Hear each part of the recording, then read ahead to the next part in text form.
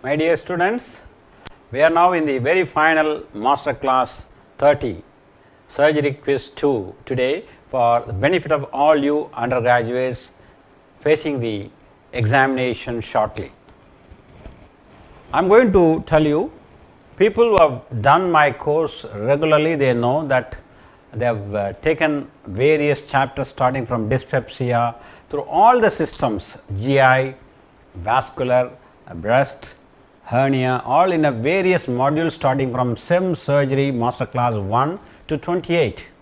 Now, in the last two something like a post test actually the last with the 50 and now today with the 30 questions I am going to teach you with some common questions. If you are able to answer most of them at least 40 after 40 I mean the last time I said at least about 80 percent mark if you are able to score. That is a good score. That is for example today I am going to show you about 30 if you get 20 right you are there. And if you are less than only 10 right that means you need to revise the module from module 15 to module 28 that is where all these questions have been taken from. Okay. So, I would request you if you are serious about our business I am serious I am sure you will be also you take a piece of paper and put your name and put alphabet from 1 to 30 and as I just give the questions you try to answer give your answer there. And see my next slide will show you obviously the answer. And you can correct yourself and judge yourself. Okay good luck. Let us go on quickly.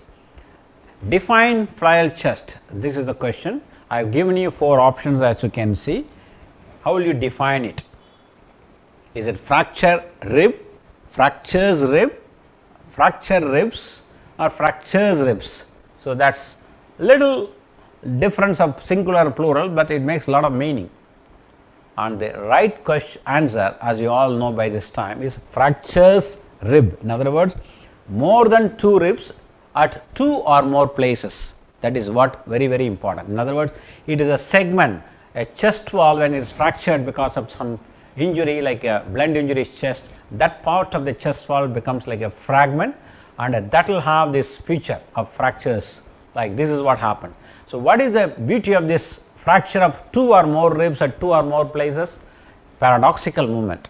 What do you mean by paradoxical movement as you can see from this one whenever the patient takes deep inspiration instead of chest expanding like here the chest actually sucked in and whereas during expiration as you can see here when you breathe out it bulges out. In other words just opposite to what others are doing.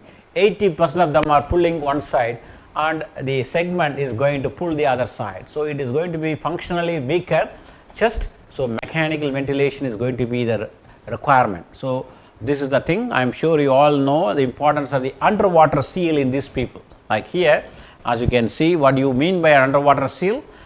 ICD underwater seal is the treatment of care for anybody with a major chest injury be it a traumatic hemothorax, tension pneumothorax, open pneumothorax or a flail chest. So, what happens as you can see in this picture when you put a tube in the pleural cavity and the tube goes right inside the water. So, what happens when the patient is taking a inspiration and expiration you see what happens during expiration because of the positive pleural pressure in the pleural cavity as you can see. So, the air comes out like a bubble.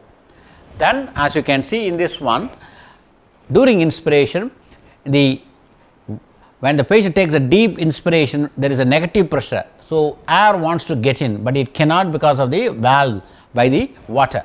So, this is a very simple effective mechanism where we get this done.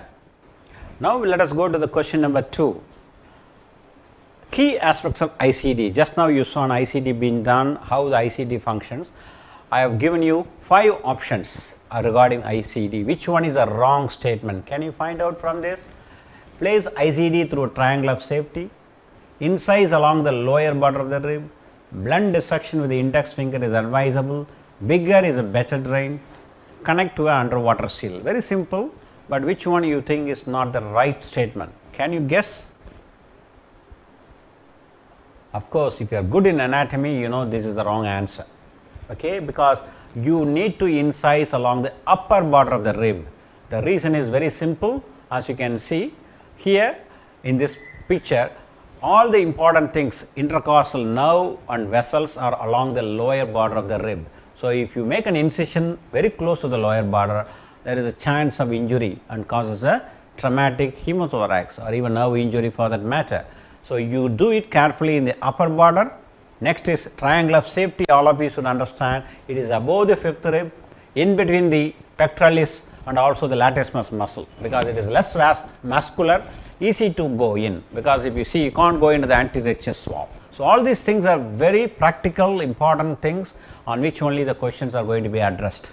Now, coming to the question number 3 as you can see here what you see is ecchymosis just below you can see this chap is having a ecchymosis just about 2 centimeter below the umbilicus. So, what is the diagnosis quite obvious it is a Cullen sign, but there are umpteen number of Cullen sign. Cullen sign is not pathognomic of any particular pathology it could be any of these.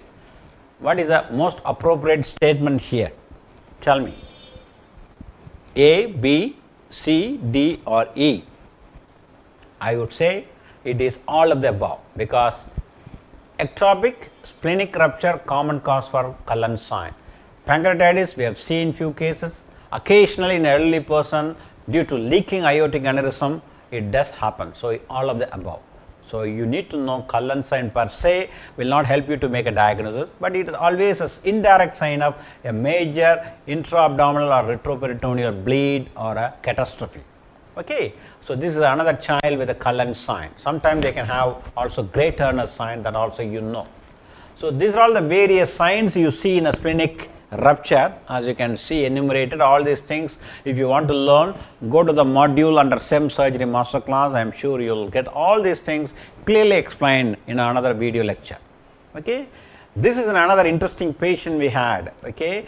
This particular patient was a 40 year old elderly person after few weeks before he had a road traffic accident came with the dyspnea and the x-ray was little conflicting. I mean it is curious x-ray. So, we did a CT where you see the coronal and sagittal section as you can see here. And it is too much for as an undergraduate I know, but what is important here is to for you to understand. Here for example what you see here is a liver. And here on the liver it is like a cap it is having a small portion of the liver is actually herniated into the chest. What you see is a black. They are all the lung shadow. Okay these are all lung and you can see this liver. It is herniating the dome. Okay because of the rupture of the dome of the right dome of the liver. So this is the picture normally given and that is the uh, ruptured right dome of diaphragm. So right diaphragmatic hernia very rare form of traumatic hernia. This gives you a classical finding that is called the British cottage loaf sign. This is the cottage loaf of British and this is the way it looked like the liver herniating portion. That is why the name is given. But all of you should know at least this one concept. Whenever a patient is comes with a blunt injury abdomen chest especially when they are dyspneic consider especially when you do a chest x-ray look for diaphragmatic hernia traumatic. 90 percent of the people will have like here is a left side. Okay the elevated dome of diaphragm on the left side is a very classical thing okay? There may be a fundus shadow below but whenever there is an elevated dome there are only two reasons. One is a ruptured diaphragm or eventuation of diaphragm. But in a trauma setting elevated diaphragm is a ruptured diaphragm unless proved otherwise. And there are other corroborative evidences. You will see a patient in addition to dyspnea there will be absence of breath sounds on the left side especially when you just auscultate sometimes even you can hear some vowel sounds and the heart also push to the right mediastinal shift will be there what we call a pseudo dextrocardia. So, these are the triad in case of a diaphragmatic rupture mostly on the left side the one cottage loaf is from the right side liver herniating. Okay. And this is by the way one of the barium we have done in a different patient where you can see the bowel loops are getting into the left chest. And again a CT is much more evident here. You can see the liver, but if you see the left side you can see the herniation sometimes even spleen and everything gets in the way. So, it settles when the patient is going for a laparotomy where you can see the ruptured diaphragm as you can see here is nicely shown here and through which the bowel has gone. So, reduce all the bowel, repair it if necessary with a suture or even a mesh So, that is a treatment that is a different thing, but recognize as a resident or as a final year raised dome of diaphragm is a ruptured diaphragm unless proved otherwise. Okay. Can you this is another case of trauma and a blunt injury chest a patient is coming with hypotension JVP raised and if you auscultate hardly any heart sounds S1 and S2 because muffled heart sounds. So, there is a classical triad because of some unusual pathology sometime you encounter. Any idea? Question number 5? Yes, if you said it is a cardiac tamponade because of bleeding into the pericardial cavity causing what we call a Beck's triad that is Beck's triad. There are about 10 15 triads and uh, I mean 10 or 15 syndromes and about 20 or 30 signs all these things you have to master as undergraduate and keep them all in a vocabulary in your okay. So, here is a, that is a classical case of Beck's triad. This is another rare case of a chest x-ray again a driver of a car and wearing a seat belt had a sustained injury he was having a severe retrosternal pain and when we did an x-ray this is what we find what is staring at you? Can you make a guess what could be the reason? This patient was very dyspneic, a lot of pain and also he had a high BP in the upper limb and hardly I mean low very low BP and femoral pulses on both sides were very weak. So, any guess if you made a diagnosis yes it is a widened mediastinum as you can see the mediastinum wide, very wide. There are only few causes for widened superior mediastinum, retrosternal goiter, aortic aneurysm, lymphoma or teratoma in that region. Plus in a trauma setting especially it was not there yesterday, today after accident it happened think of thoracic aortic rupture. So, transection of thoracic aorta because the arch of the aorta is becoming a descending aorta that area yeah mobile and fixed part going section. So, that is just below the left subclavian artery. So, it can have this particular appearance. So, be aware of that. So, these are all the rare life threatening conditions have to be diagnosed both clinically you suspect radiologically you have. Okay. Coming to the next question number 7. I have made some statement regarding the role of ultrasound in blunt injury abdomen. Will you do an ultrasound in all blunt injury abdomen? and if so, I am just I will read it for you. It can be done as a bedside even in an unstable patient that is why ultrasound is better than a CT. Number 2, you can make a quick diagnosis of fluid or blood in the peritoneal cavity, pericardial cavity and the pleural cavity and it can help you to assess any solid vessel injury like liver, spleen, kidney. It helps you to diagnose perforated viscous. So, I made a 4 statement, one is actually wrong, which one you know? Yes, it is a viscous injury because air leak from the perforated viscous may not be easily perceptibly. CT is good in that number D, but ultrasound is helpless there. So, fast scan, what we call a fast scan, all of you should know is a focused assessment with sonography for trauma that is called fast scan. It is quite useful because of its uh, it can be wheeled into the emergency room, but the one or two limitation is it will miss the hollow viscous injury and also it will not show whether the patient is actually bleeding. Active bleeding cannot be estimated. You can tell approximately this quantum of bleeding, but is he still bleeding if that question has to be addressed clinically or radiologically. Clinically of course, BP, pulse, urine output, CVP will help you, but uh, radiologically you need to go for a contrast CT that is the best investigation for that. But if the patient is unstable, take him right to the theatre. Okay. So, fast scan where all we do this picture will tell you the four common places where the surgeon or whoever is there in the emergency room will keep perihepatic to look at the liver, pericardial to look at the pericardial cavity, perisplenic to see is any bleeding or injury to the spleen or a hematoma in that region, pelvic to see any pelvic collection of fluid or blood. So, very quick takes few minutes only. Okay. Coming to this question number 8, I have given you 4 conditions here, all of them are portal hypertension with esophageal varices, take it from me. And one out of them, one will have a better prognosis. For example, if you have a case, four different cases of portal hypertension, which one of the four will be uh, having a better longevity, better prognosis or higher chance of survival when they bleed torrentially or when they go into various complications. Is it chronic liver disease due to alcoholism, Wilson's disease, Budd-Chiari, splenic vein thrombosis. You may be wondering little too much for you, it is a difficulty level 4 because most of my questions today is going to be difficulty level 2 or 3, but this is one for uh, smart guys. Okay. And splenic vein thrombosis with portal hypertension is one usually we have a very good prognosis because all of you by this time should know the various causes for portal hypertension prehepatic, hepatic, pre and post sinusoidal and post hepatic. And if you see all the causes given below that yellow line they are more serious because there whenever the patient has any complication like a upper GI bleeding they usually they do very badly because they do not have any liver cell function like alcoholic liver disease or Budd-Chiari syndrome. Whereas, if you have only splenic vein thrombosis those above that line as you can see above that line the, those people the liver as such is functioning okay. So, they will not have any mortality and usually they do reasonably well. So, that is an important thing, but I am sure at your level as an undergraduate may be difficult to comprehend, but soon you will learn the importance of the etiology to say about the prognosis in portal hypertension. Okay. So, this is what we say the liver cell failure if a patient is going in it is a poor prognosis and who they go it is only people with the cirrhosis or Budd-Chiari more than the prehepatic causes.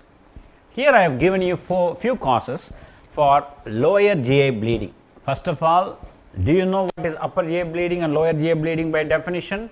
Any bleeding from GI tree above the ligament of Treitz upper GI. Below that if it is a small bowel or a large bowel can be considered as a lower GI bleeding. So, what could be the cause? I have given you 6 causes here. One is actually an upper GI cause, it is not a lower GI cause. Can you find out? Yes. Is it Meckel's, CA cecum, intussusception, CA rectum, diverticulosis all are lower GI pathology as you know, whereas Mallory is a problem in the lower end of the esophagus or around the cardia of the stomach. Okay. So, that is a wrong odd one out in this case. Next one coming to the causes for the bleeding I told you these are all the, this picture again reiterate what are the common causes in the intestine like uh, it's all depends upon the age group and also the for example, if an elderly person with a lower GI bleeding you think of a malignancy or even a diverticular disease or angiodysplasia. If it is the same thing lower GI bleeding like bright red blood in a child of 2 years age then you think of Meckel's diverticulum. The rule of 2 you know Meckel's diverticulum present in 2 percent of us. Okay it is about 2 feet away from the ileocecal junction wherein in 2 percent of the people it may have parietal cell hyperplasia and because of that peptic ulcer there and giving you a hot spot in a radioisotope technetium scan and also it can bleed like a hell like this patient. Okay. Coming to the next common thing causes for GI bleeding in a known alcoholic. You imagine tomorrow you are in the emergency department a patient with a known alcoholism brought in with a hematemesis or melena. What is melena? Tarry black stool. Okay. So, in that condition what are the common conditions which usually seen in a patient with alcoholic? I have given you here again yet another 6 different reasons why a person can bleed with the one exception which is the wrong or odd one out. Fundal varix, gastritis, esophageal varices, portal gastropathy, leiomyoma and Mallory Weiss. Out of them. The one thing odd one out in this patient is leiomyoma of the stomach. So, that is the thing. Because Mallory Weiss tear can happen. Because other things are easy to comprehend. For example, gastritis because of alcoholism, esophageal varices, portal gastric gastropathy, fundal varices because of the portal hypertension because of alcoholic liver disease. Weiss tear because of alcoholism patient can have a retching because of that there will be mucosal tear in the lower end just above the OG junction the squamo columnar junction that can also present as a bleeding. whereas leiomyoma can happen to anybody. So, that is the odd one out. Okay. Next, let us go into the next chapter that is regarding the amoebic liver abscess. I have given you some classical features of amoebic liver abscess. One is a wrong answer. Amoebic liver abscess is common younger age group, common in alcoholic, usually present as a multiple abscess in the liver. First culture usually there is sterile, there is no bacteria grown. Metronidazole is a treatment of choice. So, 5 which one you think is wrong in this relevant to the amoebic liver abscess? Yes, it is usually rule of 80, 80 percent of the amoebic liver abscess happens in the right lobe, 80 percent of them are single solitary that is what you should know multiple abscesses are wrong answer. Okay. Coming to the sonographic feature as you can see here normally this is the way it look it is common in right side because ileocecal region drained by the superior mesenteric vein territory so, it will be and usually it is subhepatic that is why rupture is so common and a classical presentation. Okay. And when you aspirate an amoebic liver abscess is the next common thing as a clinician or as a CRRI you will be knowing, but even in NEET exam they might ask you the following are the indication for amoebic liver as I mean abscess aspiration except. So, I have given you 5 different reasons the size of the abscess, impending rupture, no clinical response, superadded infection, elderly with liver abscess, which one is odd one out? Yes, elderly with liver abscess because whether it is elderly or young that itself age per se is not an indication for aspiration. Okay. And as you know this is usually done under ultrasound guidance if you go you see a classical Anchovy sauce pus.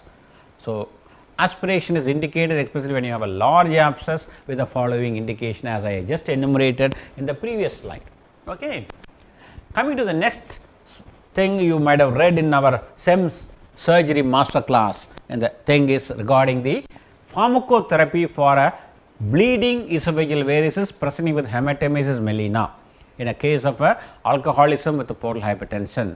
What drugs you will use? I have given you 5 drugs here, one of them not specifically reduces the portal pressure okay, which is 1. Can you find out? So, I have given you 5 drugs, I will give you 5 seconds to see. Yes, it is D. Pantoprazole is a PPI. It is given intravenously in a case of upper GI bleeding due to ulcer or gastritis, not for not esophageal varices. So, other 4 things reduces the splanchnic circulation, reduces the portal pressure and especially the terlipressin or a somatostatin infusion are the two drugs commonly given for people in a known case of actively bleeding esophageal varices. So, here is a small picture I think I am sure you may be able to recollect this particular slide especially if you remember when we discussed that is treatment of bleeding varices is both by intervention with an endoscopy by using what we call banding, sclerotherapy or a glue injection and also in a patient when you are waiting for the endoscopist to arrive then you may have to consider like what I am given here for example is a pharmacotherapy. Okay. So, that is what you need to see and TIPS is a procedure that is again they will ask you sometimes what is TIPS procedure. TIPS is nothing but trans intrahepatic portal systemic stent that is you have to go transjugularly through the jugular vein then you get into the right side of the heart, get into the IVC, get into the hepatic vein and hepatoportal systemic shunt you are able to do. So, you can see the diagrammatic representation of the shunt and that immediately dramatically reduces the portal pressure. That will be sometimes what we call a rescue procedure in a patient who is not settled either with the pharmacotherapy or with the banding. So, that is again can be asked and endocrinology especially Graves disease, multinodal goiter, solitary nodule important questions for you. Here is a Graves disease how you suspect a Graves disease patient remember this 6 T's that is they will have a diffuse goiter, terrifying eyes that is exophthalmos, tremor like this a fine tremor, then tachycardia or a palpitation then pretibial non-pitting edema, then they will have a low TSH, high T4, T3. So, this is a classical feature of Graves disease and I have given you 5 signs here and what are the eye signs of Graves disease and uh, one is a wrong one. Can you tell me which one is a not a eye sign of thyrotoxicosis? Yes, Hill sign is something to do with the aortic incompetence, whereas all other four signs as you can see enumerated here nicely, you need to go back to the slide we discussed when we discussed thyroid about the various things like a Geoffroy sign, Stellwag sign, Dalrymple sign, Mobius sign, even a von Graefe sign. Like for example, if you bring the like that your finger to the tip of the ask the patient to look at his tip of the nose, the convergence of the eye is difficult for him. So, that is what we call a Mobius sign. Like that various signs can be elicited, but usually they are all academic because exophthalmos by looking at the patient if you see if you are able to see the upper part of the sclera the white of the eye is able to see because of the lid retraction that is diagnostic and people will ask you what is exophthalmos what is proptosis. So, you have the answer with you right okay. Coming to the next thing thyroid nodule whenever there is a solitary nodule thyroid they will ask you a question what is a cold thyroid nodule. I have given you 5 cases here out of them one is actually hot thyroid it is not a nodule. So, which one is it? So, if you see this A, B, C, D and E the answer? Yes. Graves disease will have a diffuse uptake of iodine radioactive iodine. So, A, B, C and E are cold nodule where the blue color is given. The red areas are the iodine avid whereas the blue area is the area where iodine is not taken up. Okay? And these are all the few causes. As you can see common causes colloid nodule is the commonest cause. Follicular adenoma even Hashimoto's when it is a nodular portion. Carcinoma always they fear carcinoma but not all cold nodules are carcinoma. That is what the message I want to drive okay. Coming to the next question you may be asked in the viva what you mean by orphan Annie nuclei in which condition you see? I have given you 5 conditions which one you think is the right? Is it a thyroid pancreas or ovarian? Or it is in all cases? What do you think? Yes it is a classical finding is in a papillary carcinoma thyroid. As you can see in this picture you can see a the empty nucleus. The nucleuses are chromatin are pushed to the periphery. The nuclei look very empty like this. Clear vacuolated nuclei. That is very classical of papillary CA that is why it is called orphan Annie according to the American cartoon character with empty eyes okay even the dog along walking along with the orphan Annie will have a, that character. So, there is a classical cartoon character on that basis the empty or clear vacuolated nucleus is given that appearance. Okay. Question number 17 ventral hernia or abdominal wall hernia can happen in various situations and I have given you a question mark where there is a green shadow. What is the name of the hernia normally appear in that particular position? Can you tell me?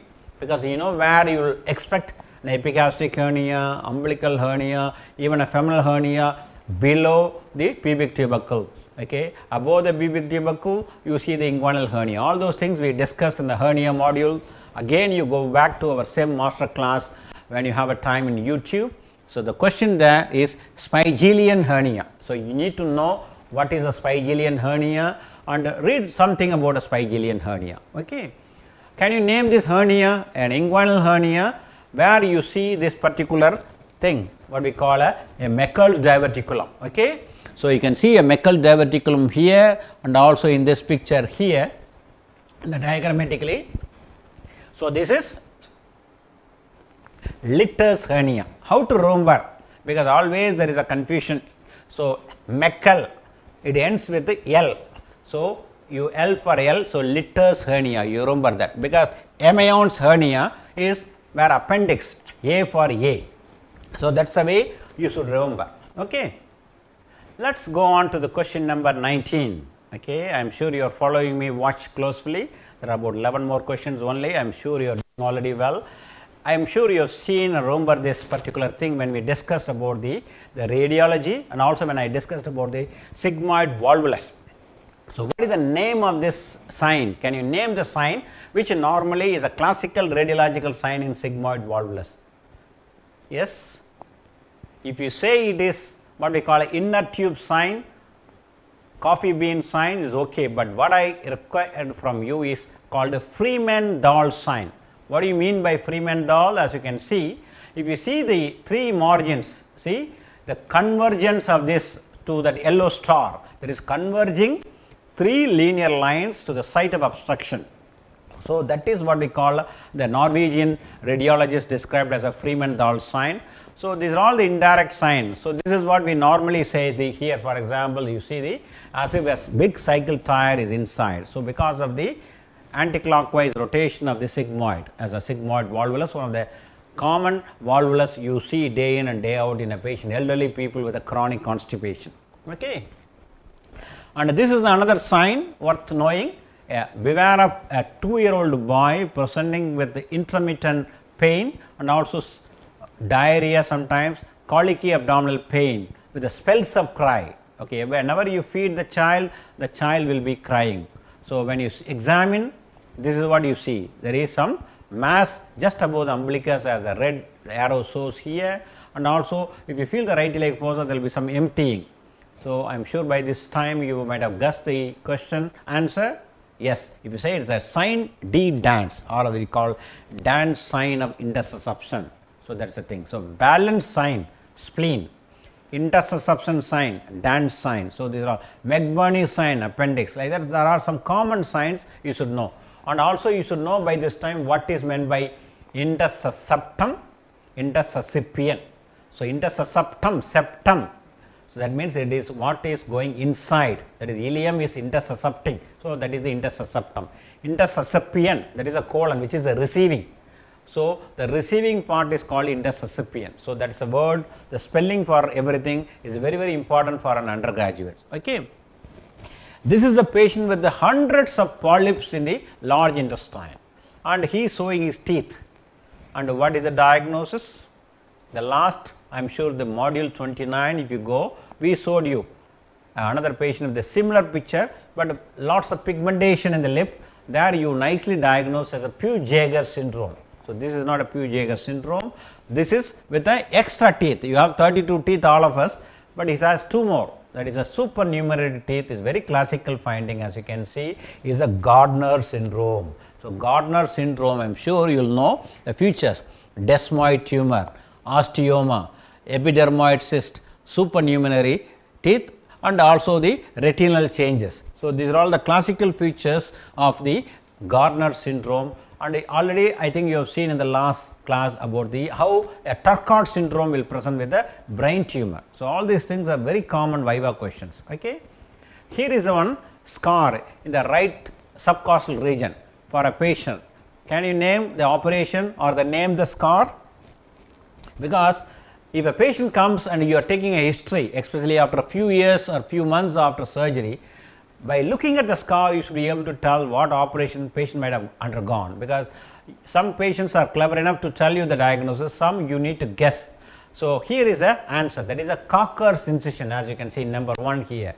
So, midline incision, McBurney's incision, all the incision I have given you here, you please carefully you see this picture and try to memorize all these incisions and when you see next time patient with the incision that tell you what operation patient might have gone, whether the wound has healed nicely and how the surgeons closed the wound, what material he might have used, lot of messages or information you gather just by a fraction of second you spend time looking at the scar. Okay. Coming to the question number 23. Now, here is a young boy as you can see with a history of trauma a few weeks before coming with a huge abdomen. You can see the upper abdomen above the umbilicus is quite swollen and you see a classical finding a CT scan you see a, a fluid filled structure okay, right there in the occupying almost the whole of the abdomen. So, this is a classical presentation of what I call a traumatic pseudo pancreatic cyst. So, this is the CT appearance of pseudo pancreatic cyst which is actually pushing the stomach so anteriorly stomach is hardly seen here. Okay. So, these are all the 5 masses I am going to tell you and what are the masses moves with respiration. This is a very simple question. Okay. This is actually 5 different masses you sometimes see when you examine a patient out of them one is not moving with the respiration. Can you tell me which one? Liver, spleen, kidney or pseudocystic pancreas or mucocele of gallbladder?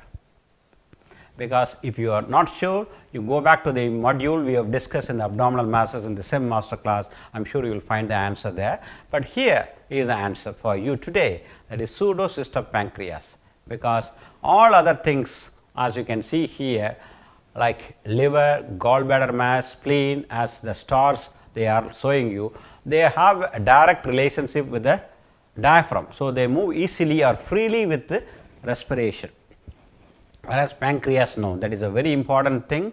And a pseudo pancreatic cyst you have to identify this. And I have given you some other in addition to pancreas any retroperitoneal mass especially aortic aneurysm like aneurysm of aorta or lower abdominal or ovarian cyst they also is not going to or not expected to move with the respiration. So, that is a very very important clinical thing nowadays we do not give that much importance to the clinical examination, but still as a undergraduates your job to properly examine person and I am sure the examiner will appreciate your hard work.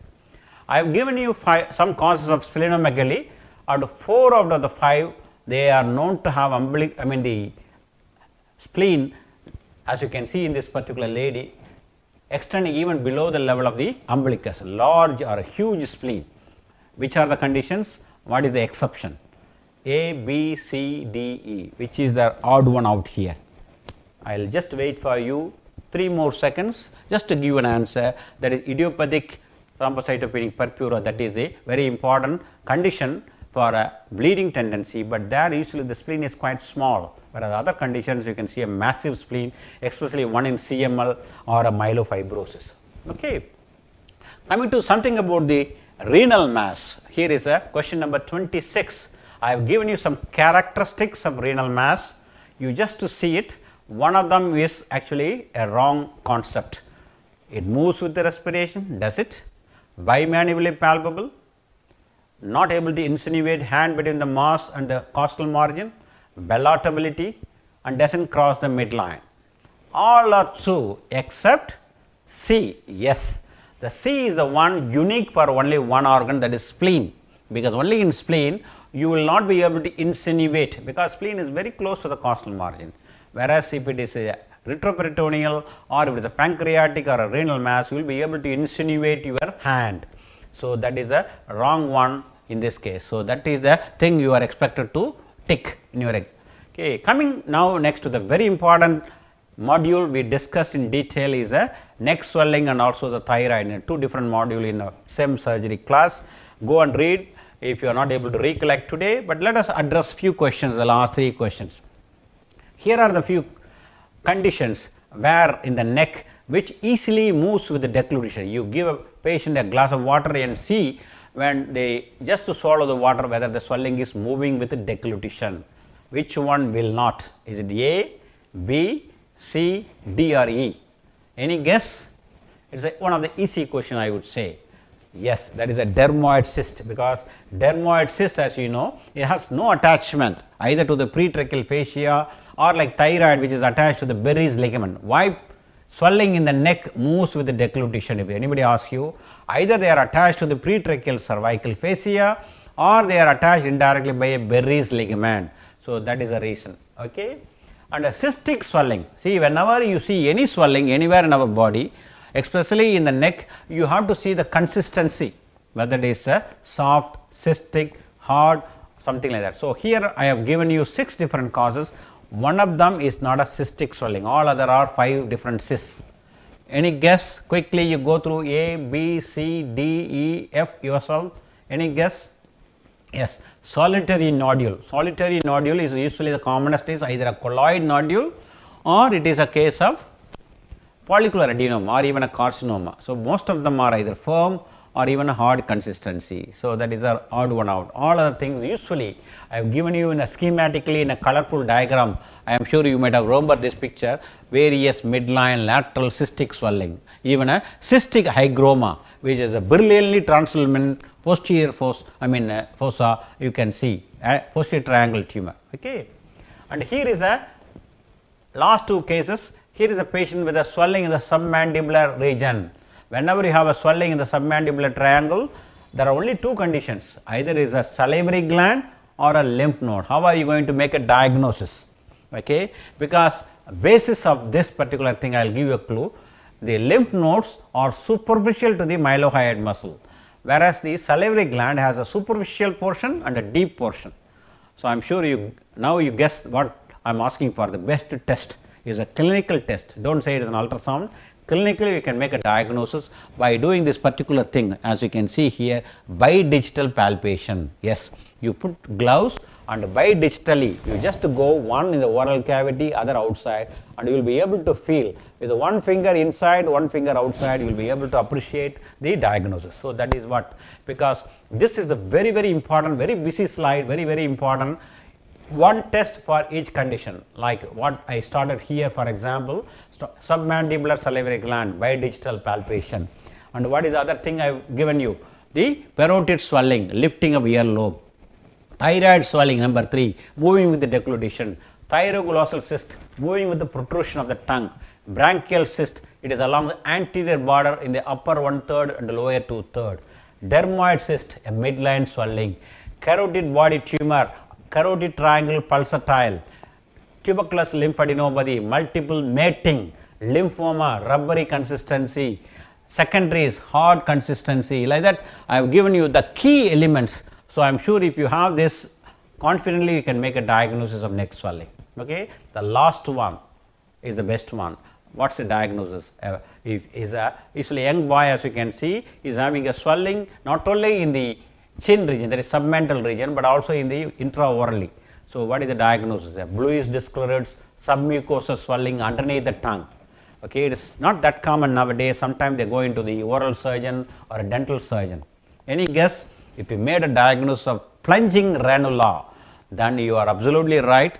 Yes, plunging ranula is because ranu that is a frog like a frog's belly it is a bluish discoloration, it is plunging into the submental region. It is a very classical finding and if you know that is well and good and this is the price question for all of you.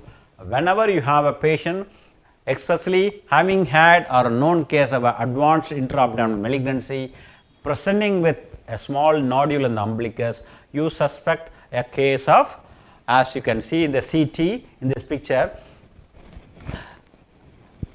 secondaries that is because of this sister Joseph nodule. See this is sister Joseph.